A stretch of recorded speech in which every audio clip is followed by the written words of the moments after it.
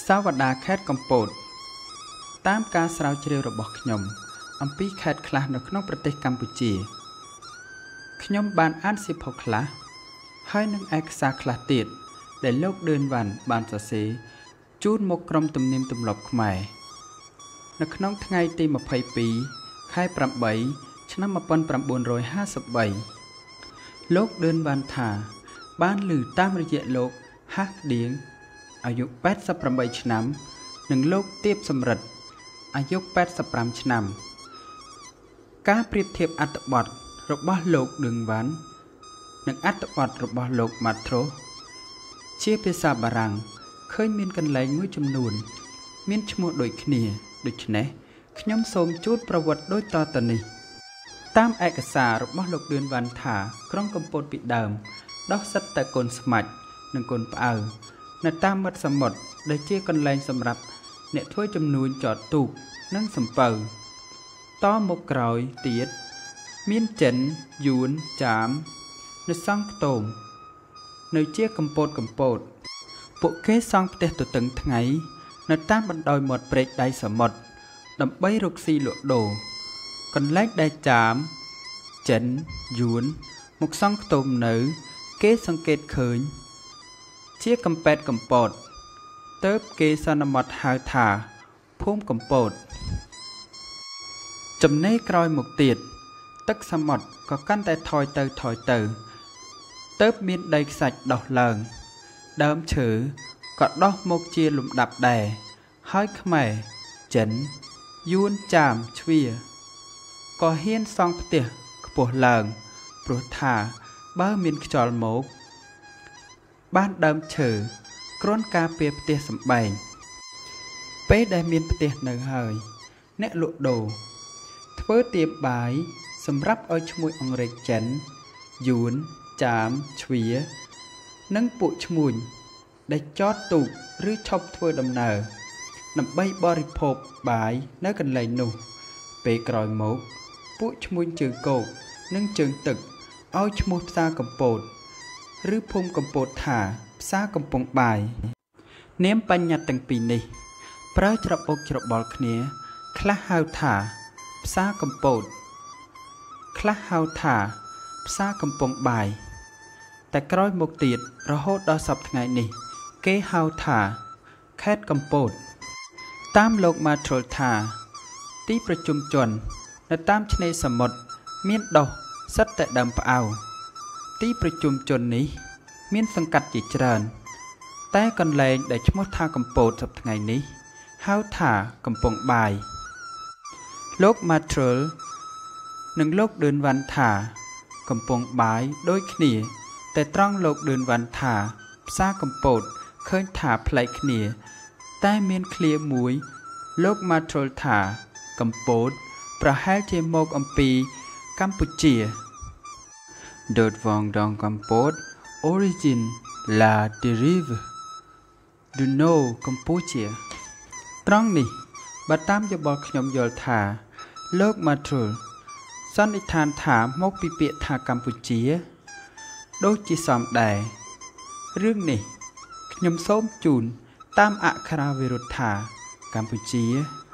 គេអាចសរសេរទៅជាកម្ពុជារដ្ឋ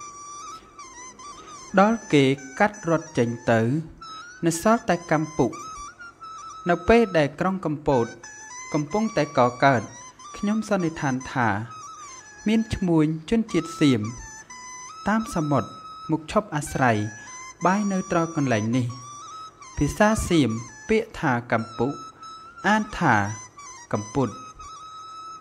ដល់យូរយូរទៅ ដោយសេចក្តីធ្វេសប្រហែសបានបាត់ស្រៈអ៊ុក នៅសល់តែកម្ពត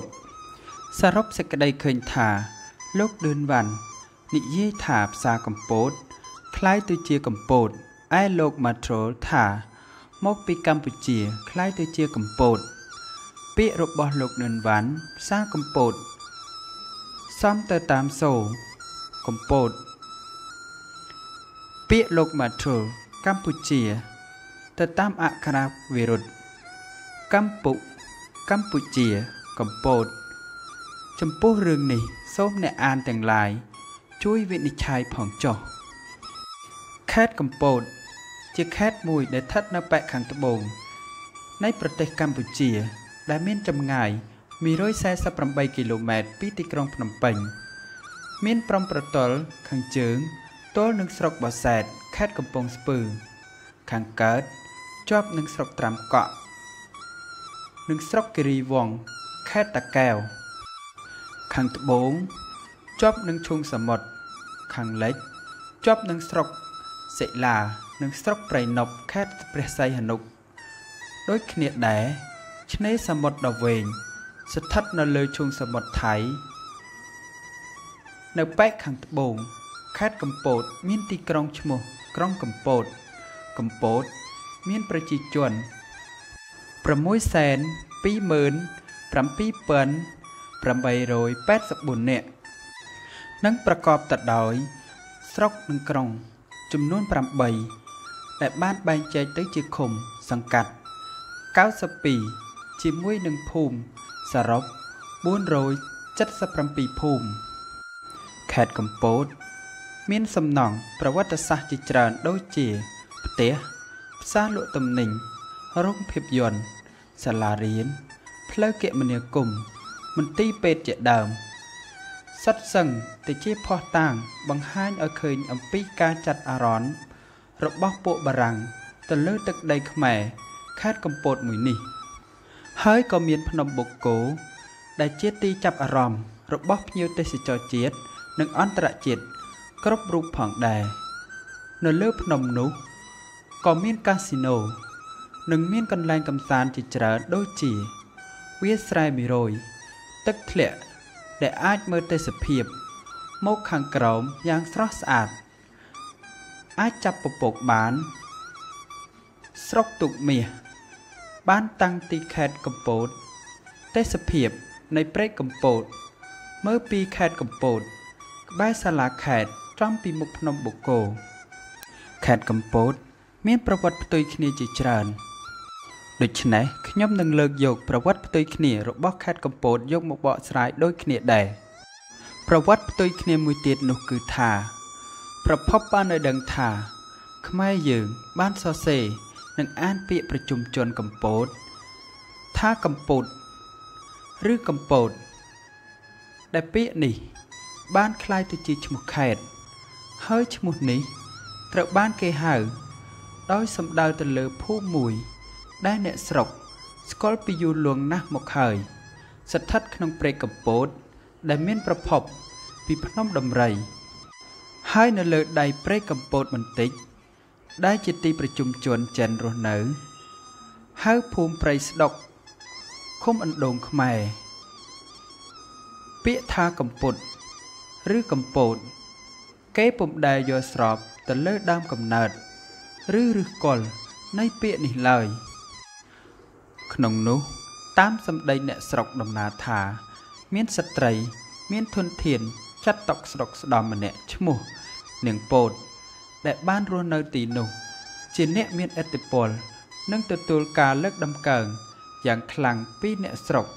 នៅភូមិផងរបងជាមួយដោយសារភកទ្របដ៏មហាសាលរបស់នាង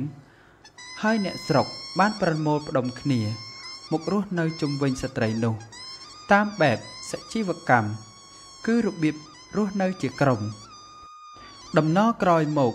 ពាក្យថាក្រុមคล้ายមកអំពាក្យគុំដូចនេះនៅជាប់ភូមិស្ថាននៃក្រុមរបស់នាងពោតមានឈ្មោះជាបន្តបន្ទាប់ថា ក្រុមនាងពោតរួមក្រុមពោតងាកមករឿងនិទានមួយប្រហាក់ប្រហែលគ្នានេះដែរបានដំណាលអំពីស្ដេចព្រះរាម នាសម័យបែកបាក់លង្វែកដែលបានរត់គេចចេញមកអំពីការបោះបោរាជវាំង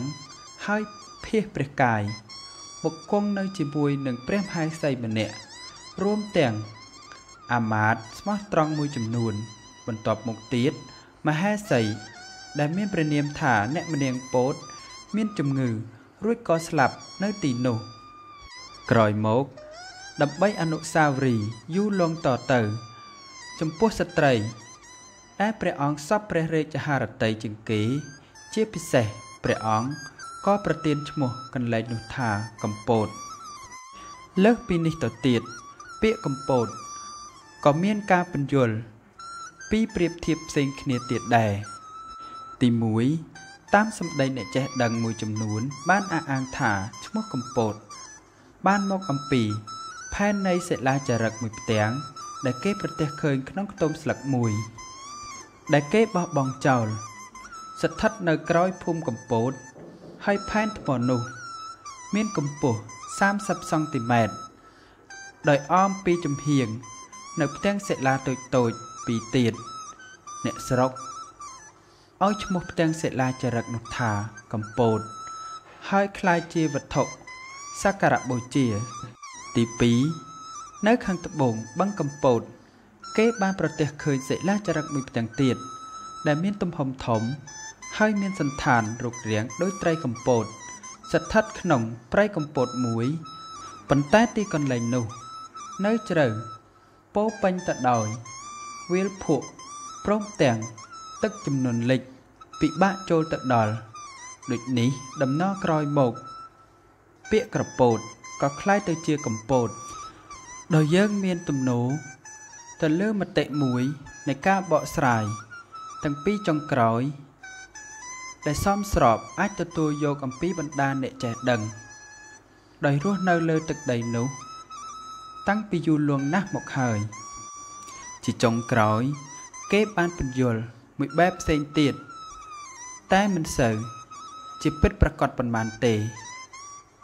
គឺពាក្យកម្ពត បានចេញមកអំពីពាក្យកម្ពុជា ដែលមានសំឡេងកំកំដូចគ្នា ដែលជាឈ្មោះ